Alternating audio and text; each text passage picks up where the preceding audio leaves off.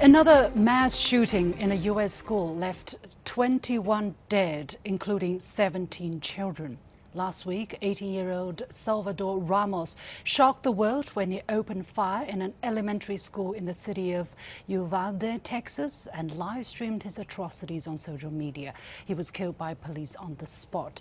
So far this year, over 20 mass shootings have been recorded in schools, and a total of 7,700 people have died from gun violence in the United States. Yet, there's no sign the trend is bucking. How deep does the root cause go? How on earth can the issue be remedied? I'm pleased to be joined from London by visiting Professor Martin Jacques to Tsinghua University. He was a former senior fellow with uh, Cambridge University. I'm pleased to be joined from Hong Kong by Edward Lehman, managing director of Lehman, Lee and Xu LLP, a law firm. Gentlemen, welcome to the point. So let's take a look at the past few years of trends um, in the shooting in the United States. We know uh, so far this year, 7,700 people have already died in the year 2021. 45,000 people died from gun violence. 2020, in the year 2020, 43,000. Uh, the year before that were almost 40,000 as well. And these are according to the data from Gun Violence Archive. As to school shootings, we have this uh, uh network called uh, Education Week, which tracks school shooting incidents in the United States. And they recorded 24 in the year 2018, 24 school shootings in the year 2019.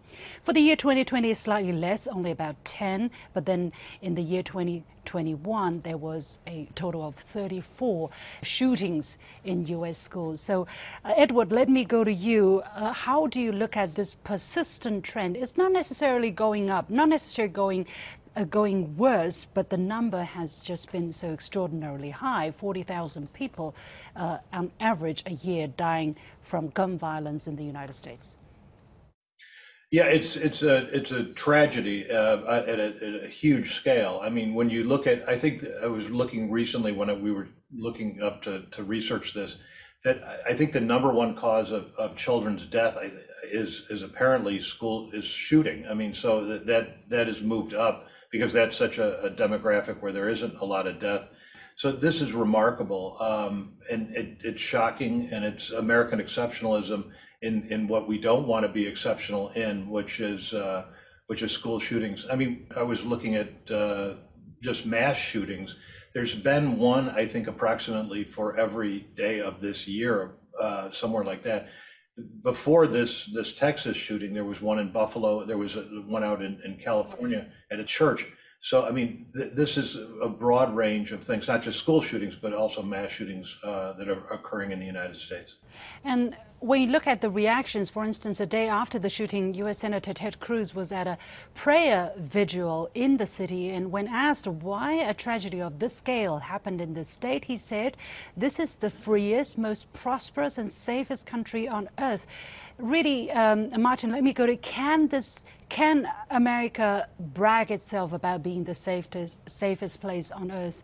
Um, and yet, it seems for people like Ted Cruz, it's nothing is going to change his his belief in this.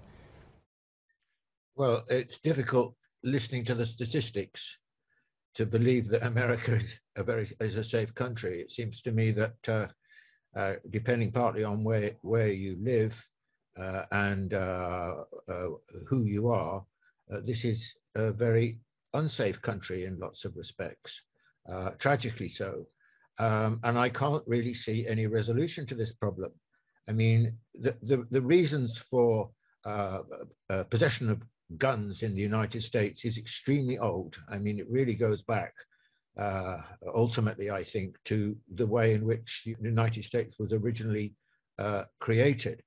Um, and in the re recent past, probably uh, dating back to the 1960s and desegregation, uh, then increasingly for Republicans, uh, bearing arms became a major political and legal question. Uh, and so the situation now, I think, is a kind of logjam where, you know, this is in, in a way one of the ultimate polarization issues, where the Republicans like uh, Ted Cruz or Trump and so on believe that, you know, guns are uh, the means to safety. You know, there, there's not a bad gun. There's a, there's a there's either a bad man or a good a good man holding a gun, and and that's the way they look at it. So therefore, Trump's response to this situation has been to say, you know, guns are the me, uh, uh, the means to stay safe. They are a guarantee of security, which is the opposite, by the way, not. Uh, to the experience in other countries. I mean, my own country's had mass shootings from time to time, very rare, but we've had them. And New Zealand and Australia and Canada and Norway have had these kind of shootings, but they've taken absolutely the opposite direction in response. They've, they've, they've restricted they've restricted gun control uh, gun use.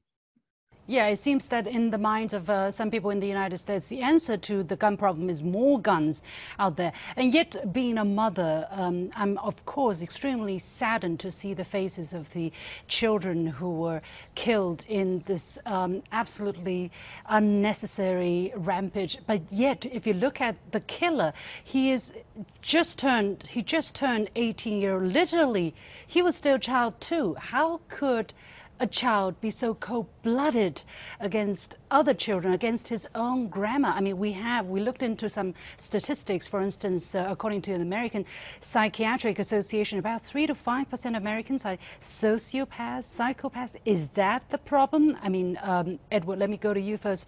And that another issue I, I pay attention is 30% of American families are single-parent family, the highest in the world, one of the highest in the world.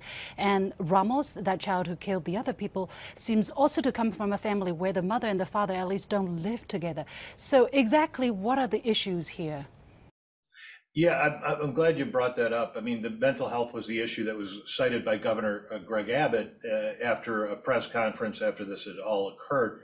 If you look at it statistically, all countries have mental health issues. I mean, so you look at Japan, you look at Norway, you look you look at uh, at England all these other places, what's the variable? So the number's probably roughly the same with three to five percent in that range, I would imagine. Okay, so what's the what is the variable? What is the issue that's different?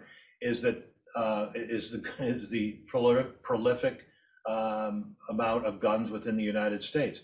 And so, um, I mean, America makes up only about four percent of the world's population, but it owns about forty-six percent of the entire global stock of 857 million civilian firearms. So there are more, uh, many more guns in the United States than there are human beings in the United States. And so the ease with which someone can purchase this, if you look at this this fella, this perpetrator, um, Ramos, like you said, I mean, he lived with his grandmother. He, he first shot his grandmother in, in the head. Uh, she somehow had managed to survive to raise the alarm and uh, but still there was not uh, there was not a a moment in which they could have gotten together and stopped this from happening. So um, you know, uh, American civilians um, nearly they have owned nearly 100 times more firearms as the U.S. military, and nearly 400 times as many as law enforcement. So these are just average citizens. And every single time that there's a spike like this, where there are shootings, there's more guns that are purchased. So the American gun lobby, and by the way, I mean, Ted Cruz, which uh, we, we were just talking about a moment ago, he this weekend is at the NRA conference, uh, you know, talking to the National Rifle Association about the protection of, of gun, um, the, the ability to sell and own guns. So um, the, the, the biggest question really is um, whichever way, you know, more guns, less guns, you have to be able to take action to solve the problem. And it seems that the United States is just unable to come to any consensus to do something meaningful. Um, Martin, what exactly is the problem? How big is the problem?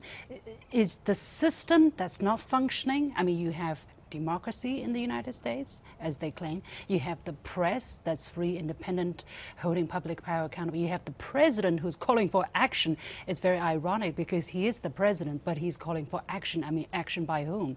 Exactly what is the problem? How deep does it go? Well, the problem is obviously very deep. I mean, I agree with what Edward said. I don't think that it's the primary problem here is mental health. Yeah, there's a serious mental health problem in the, uh, the United States, but you know, you can say the same of quite a lot of countries, including my own. And there's the growing recognition of the importance of this. The problem in the United States is that it, a young kid who's feeling angry, who's feeling shut out of society, who's had a row, can reach for a gun and shoot. I mean, this is the problem because guns are, you know, ten a penny, as we would say in English uh, in the United States. They are very, very accessible. For an 18 year old, they can easily go and buy a gun. They Not just a gun, they can go and buy a semi automatic gun and an assault weapon, which will shoot, you know, lots of people, as we see in these schools. You know, 20 is quite a regular kind of figure in these shootings. So uh, now the problem is uh, that uh, America is divided on this question, uh, divided between those who believe in the importance of the gun and the, the, the, right to bear arms and the Second Amendment, and another section of society, maybe roughly half, who believe the opposite. So there is a, there is a, a, a paralysis, and uh, and I don't see any solution to this in the near future. I mean, maybe it'll go on for a long, long time, this situation. It could even get worse. I mean, uh, uh, if you have uh, the return of something like the Trump presidency, then he'll obviously, uh, they'll, they'll, obviously encourage uh, gun ownership. But the problem also is historical. And I don't think we should in any way underestimate this, that America grew up uh, by the use of arms. I mean, how did how how how were the Native Americans defeated? By the gun. Yeah, so basically when there is a problem, Martin, let me stay with you. When there's a problem that's so dire that needs to be addressed, the American political system, the way it is now, is unable to carry out any fundamental reform that's necessary. I mean, as this is the problem is, as big the problem is, the way it is now, the political system it is now, is unable to just address this issue. Yeah, well, of course, this is not just limited to the question of gun gun control. I mean, of course, a, a, a, range of issues. The only issue in America which unites Americans at the moment is the attitude towards China. But otherwise, uh, Americans are absolutely divided on most issues. I mean, look what happened to uh, Biden's economic uh, program. It's not got anywhere. Uh, nothing's happened. No, nothing will happen. You know, so the, the, pro the, problem is very, very deep in American society, which is the country is profoundly divided. Edward, um, how long is it going to take till this uh, uh, issue can really be addressed and start to see some kind of resolution? Well, the, the, again, Ted Cruz uh, received four hundred forty-two thousand dollars from the uh, from the National Rifle Association. They're a strong gun lobby. There has been reform. It was 1994 to 2004 against AR-15 uh, uh, type rifles. Didn't work out for them. Uh, it, that lapsed in 2004. Wasn't really a, a, reduction in shootings at that point in time. So I think the future lies with what what Americans can do at the at the ballot box to be able to change their uh, elected officials in order to to change the laws, policies, and regulations to get around the Second Amendment and give them back to the states' rights, which uh, which is what they've done with abortion. But those same people who have done it with abortion or want to do it with abortion won't do it for gun rights because of the Second Amendment. So we're in this kind of catch 22 uh, cycle that I'm not sure we're going to get out in the near future. So it doesn't bode well for that uh, part of the American society. Very tricky issue. Many thanks to my guests, uh, Martin Jacques joining us from London and uh, Edward Lehman joining us from Hong Kong. Thank you very much.